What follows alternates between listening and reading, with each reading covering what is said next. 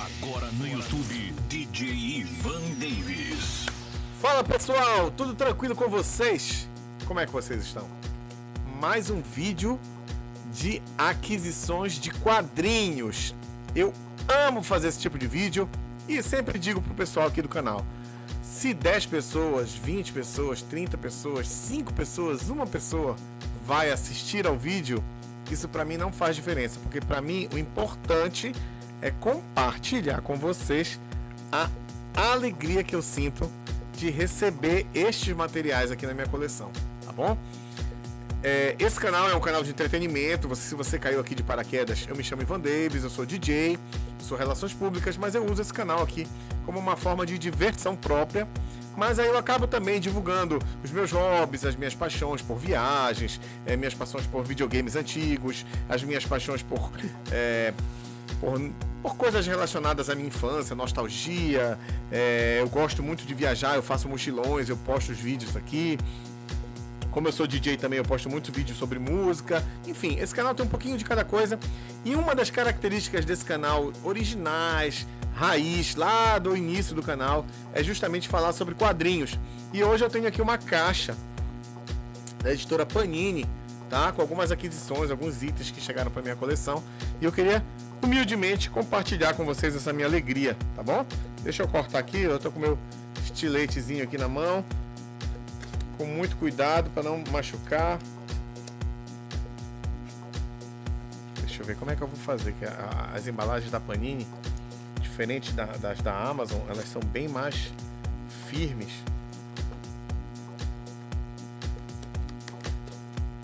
E aí, pessoal, como é que vocês estão, hein? Deixa nos comentários aí. Ivan, tá tudo bem, graças a Deus. Eu estou muito feliz, gente, de poder compartilhar aqui mais um vídeo de quadrinhos com vocês é, quem me acompanha aqui há mais tempo sabe que esse aqui é um canal, de certa forma, amador, né? Mas que é um canal assim que eu gosto muito de fazer, eu me divirto fazendo esse canal, compartilhando com vocês as coisas que eu compro, que eu ganho, que eu trago para cá. Olha, consegui já abrir. Tcharam! Aqui a nossa caixinha tá aberta já. Eu vou tirar item por item. Não tem muita coisa. Nós temos muitos cheetos verdes quem compra na Panini sabe que a Panini manda com esses, esse isopor, né? Parece um Cheetos. A gente brinca dizendo que é Cheetos. Deixa eu contar quantos itens tem aqui. Um, dois, três. Acho que são quatro itens, tá? Então vamos lá. Começando aqui pelo primeiro. Demorei para pegar essa coleção, viu? Aliás, a coleção completa não. Vou pegar os primeiros números porque se você comprasse os dois juntos, você pagava um valor promocional. A saga do clone Homem-Aranha, tá aqui, ó. Já saiu faz um tempinho, né? Mas agora que eu tô comprando, tá? Todo mundo falou mal disso na época. Outras pessoas dizem que isso aqui é uma obra de arte. Eu tenho essa dúvida. Mas quer saber? Para tirar a dúvida, eu vou ler pelo menos os dois primeiros volumes e aí eu decido se isso aqui é ruim ou não, tá? E o volume 2 tá aqui, ó. A Saga do Clone, volume 2. Muita gente reclamou, falou que isso aqui devia ter saído em formato ônibus, mas resolveu sair no formato saga, né? Eu acabei pegando os dois volumes porque se você pegasse os dois volumes juntos, você pagava um valor promocional, tá bom? Tá aqui, ó. Saga do Homem-Aranha, a Saga do Clone, volume 1 e volume 2. O terceiro item é a volta do Conan o Bárbaro. Eles zeraram a numeração novamente. Vocês lembram quando voltou da outra vez? Eu mostrei para vocês os volumes aqui que eu comprei, né? E aí zeraram e eu tô com o número 1 um aqui na minha mão. Isso aqui a gente lê rapidinho, não tapa.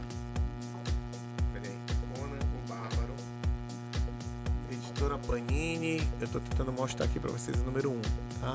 E ele vem com esse selo novo aqui que eu não conheço, Titan Comics. Heroic alguma coisa que eu não estou enxergando nem de óculos. Então tá aqui.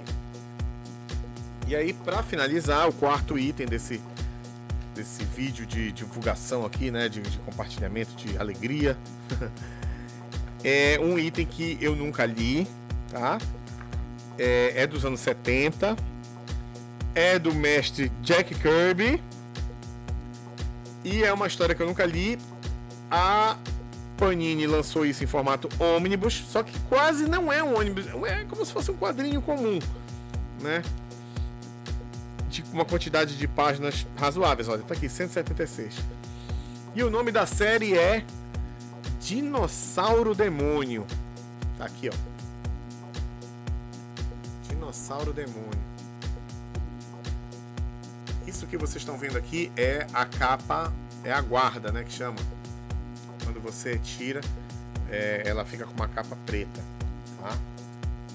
Pelo menos eu acho, né? Os outros ônibus da Marvel são assim. É, é isso mesmo. E aí ele compila as únicas nove edições que saíram dessa série. Aqui atrás você, você enxerga, tá? Eles estão chamando isso aqui de ônibus, mas eu nem considero.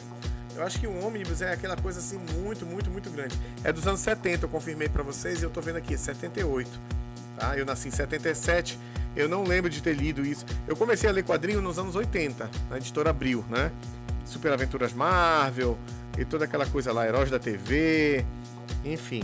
E eu não lembro de ter lido isso, não sei se isso aqui saiu em alguma revista da Marvel. De qualquer forma, eu tô adquirindo esse volume. Peguei numa promoção da Amazon também. Fiquei feliz porque é uma, uma, uma obra do, do Jack Kirby que eu de fato não conhecia. Né? Eu, até então eu não sabia da existência, fiquei sabendo da existência tem de uns dois anos pra cá, um ano e meio pra cá, sei lá. E desde esse momento que eu fiquei sabendo da existência, eu fiquei com vontade de ter. E tá aqui. Eu tô procurando aqui o nome do Jack Kirby aqui na, na capa, mas não tem. Ah, tá aqui do lado, ó. Tem aqui. Jack Kirby. E é isso, gente. Finalizar o vídeo. É, muito feliz de compartilhar com vocês as minhas alegrias, como sempre. Deixa eu tirar meu óculos aqui pra gente fazer aquela capa do vídeo, né? Vou tentar segurar aqui.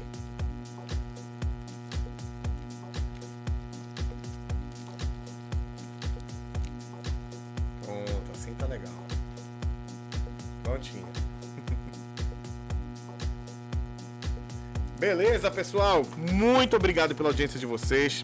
Vídeo simples, vídeo gostoso de fazer, conversando, batendo papo e compartilhando a minha alegria de receber esse material aqui na minha casa, tá bom? Vai direto para a coleção, vai para nossa pilha de leitura. Esse Conan vou ler rapidinho porque ele é fininho, né? Mas aí logo em seguida eu quero ler esse Dinossauro Demônio que eu tô muito curioso e depois eu dou continuidade lendo a saga do clone aí, que eu quero ter minha própria opinião. Muita gente fala coisa muito divergente, tem gente que fala que é muito bom, gente que fala que é muito ruim. Se você conhece, se você já leu, deixa a tua opinião aí embaixo também, que isso me ajuda, tá bom? Beijo no coração, me segue lá no Instagram, arroba DJ Davis, e também no Instagram do Projeto PEC, que é o arroba PEC Underline Entretenimento, tá certo? Valeu, tchau, tchau, até a próxima.